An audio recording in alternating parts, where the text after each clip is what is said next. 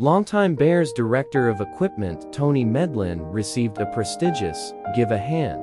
Out to Give a Hand Up Athletic Award last Saturday night from the Callahan Foundation.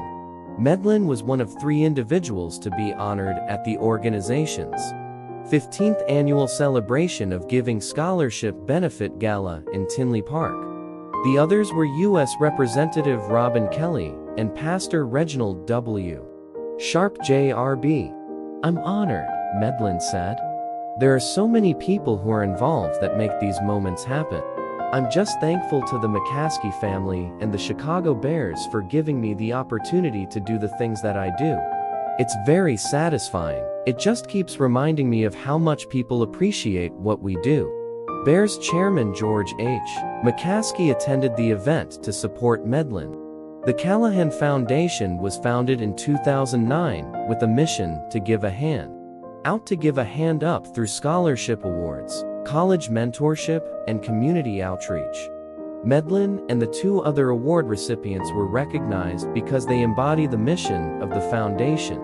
Medlin joined the Bears in 1987 and has headed the equipment department since 1997. He's responsible for coordinating all team equipment operations, including logistics, purchasing and inventory for all players, coaches, and staff. Medlin also spearheads the Bears' annual coat drive. The coat drive was started by Gary Haeger, Medlin's predecessor, and the equipment department in 1989.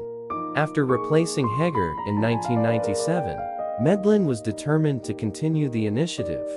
Every year, Tens of thousands of new and gently used coats are donated and then distributed to those in need throughout the Chicago area. A revered employee, Medlin won the Virginia McCaskey Award in 2017. The prestigious honor is given to a Bear staffer who has demonstrated the characteristics and values of Mrs. McCaskey, grace, humility, loyalty, and dedication. The winner also is someone who not only exceeds the highest standards of achievement, but whose work sets them apart from co-workers.